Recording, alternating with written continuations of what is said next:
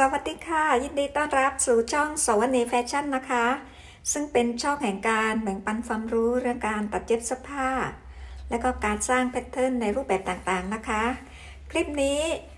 มาสร้างแบบคอปีนเก๋ๆกันนะคะ ซึ่งคอปีนก็มีอยู่หลายรูปแบบก่อนหน้าก็ได้ทำคอปีนมาอีกแบบหนึ่งนะคะ วันนี้เห็นแบบคอปีนสวยดี ก็เลยเอามา สอนกันอีกค่ะทำจากแพทเทิร์นเสื้อมาตรฐานนะคะ มีวิธีการทำที่ไม่ยากเลยค่ะ โดยที่ด้านหน้าของคอเสื้อ ให้วาดไปตามที่ต้องการเลยค่ะ ไปดูวิธีการทำกันเลยค่ะ มาเริ่มทำกันนะคะ ให้กดรอยแพทเทิร์นเสื้อมาตรฐานชิ้นหน้าชิ้นหลัง ซึ่งจะสอนแค่วิธีการทำคอปีนนะคะ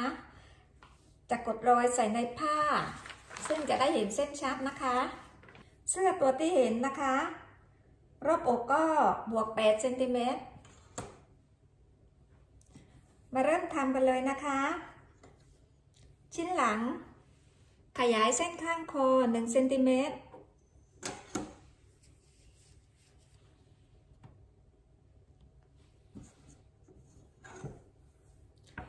ในส่วนของคอหลัง ก็เท่ากับแพทเทิร์นเดิมเลยค่ะ แล้วก็โค้งคอหลังค่ะ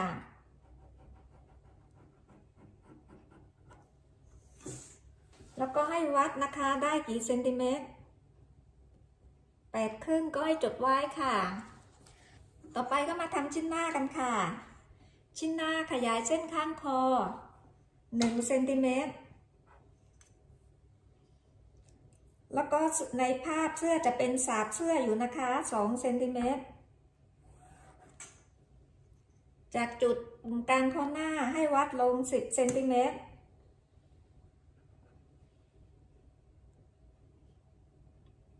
แล้วก็จากจุดปุ่มกลางคอหน้าอีกครั้งหนึ่งให้วัดนะคะ ให้วัดลง 4 เซนติเมตร ในส่วนของคอหลังนะคะ จากจุดนี้ ตีเส้นขนานขึ้นมาค่ะ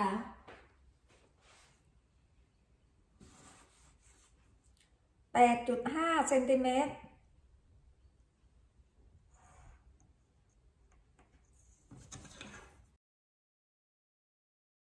ความกว้างของขอบปีน3เซนติเมตร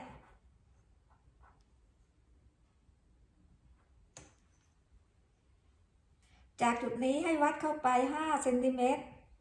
กำหนดจุดไว้ก่อนนะคะ ขอปีน 3 เซนติเมตร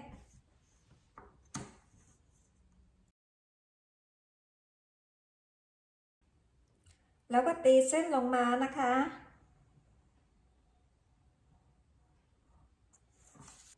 จากส่วนนี้ จากจุดที่ตีเส้นลงมานะคะ ให้กะด้วยสายตาประมาณสัก4เซนติเมตรนะคะ แล้วก็ค่อยๆโค้งออกไปค่ะ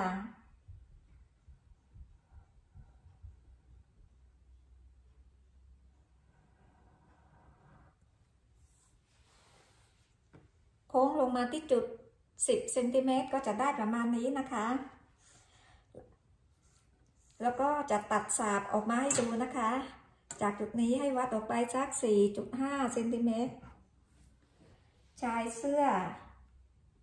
6 เซนติเมตร แล้วก็ช่วงเอว 7 เซนติเมตร ตีเส้นไล่ ๆ ลงไปนะคะ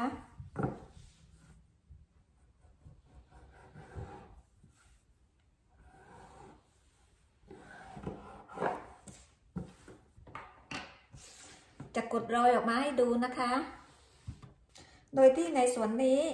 สามารถตกแต่ง การโค้งคอได้ตามต้องการนะคะ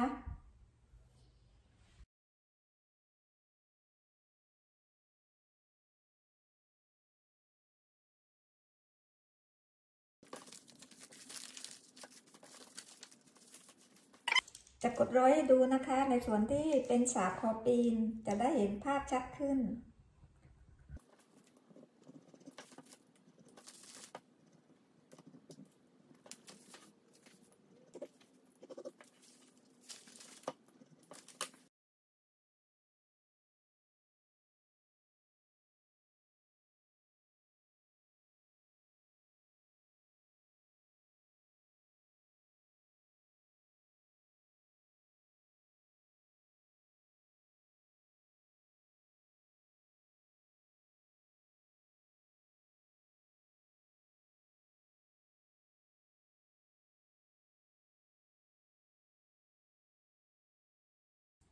ส่วนนี้ก็จะเป็นคอปีน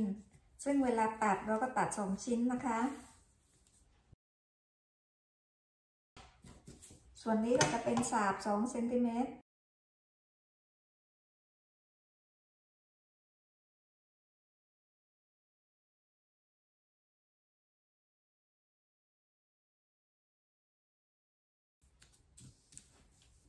ความลึกของคอปีน 10 เซนติเมตรนะคะ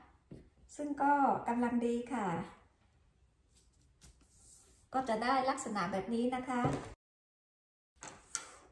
ทำให้ดูพอเป็นไอเดียนะคะ ซึ่งในส่วนของคอปีน ก็สามารถโค้งดัดแปลงได้ตามความชอบของตัวเองนะคะ เจอแบบมาแล้วชอบ เลยนำมาสอนกันค่ะ พอเป็นไอเดียนะคะ คลิปนี้ก็มีแค่นี้นะคะ ขอบคุณที่รับชมชอบใจก็กดไลค์กดแชร์ กดกระดิ่งแจ้งเตือนไว้นะคะ จะได้เจอกันคลิปต่อๆไป สวัสดีค่ะ